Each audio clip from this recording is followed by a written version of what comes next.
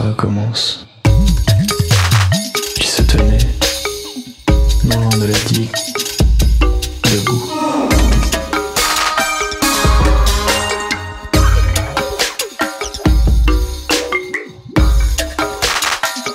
Par là, la perte d'un peu de soi.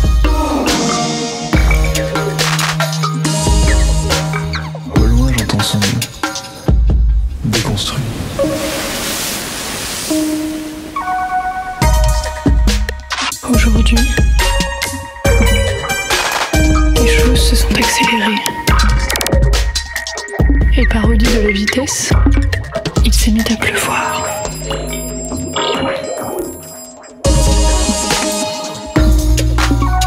Mais le temps manque à celle dont la course, commencée il y a bien longtemps, ne sait plus comment s'arrêter.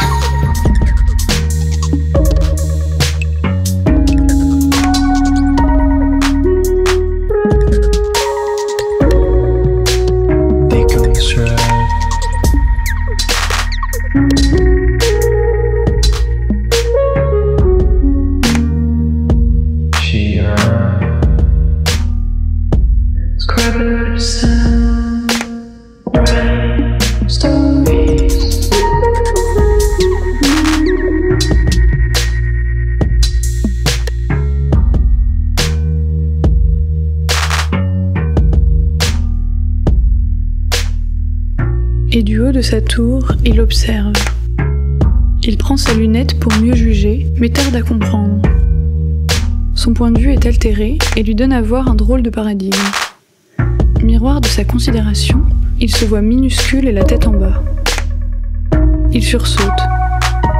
Ce n'est que moi, je m'effraie dans ma condescendance. La jumelle à l'envers me rend rabougri. Si près pourtant, je semble si loin et colérique.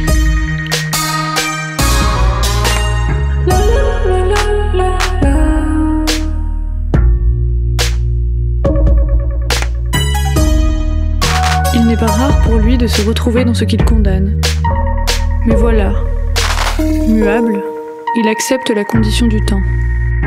Et tentant de comprendre l'éventualité d'un fait présent, englobant ici et là, impalpable, imperceptible, affirme. Rien ne sert de précipiter ce qui sera ou de ranimer ce qui était. Il importe de comprendre son époque. Alors, les tourments de son âme, fardeau sauvage du soi, lui paraîtront de simples effets de style, manipulables selon ses désirs ou son instinct.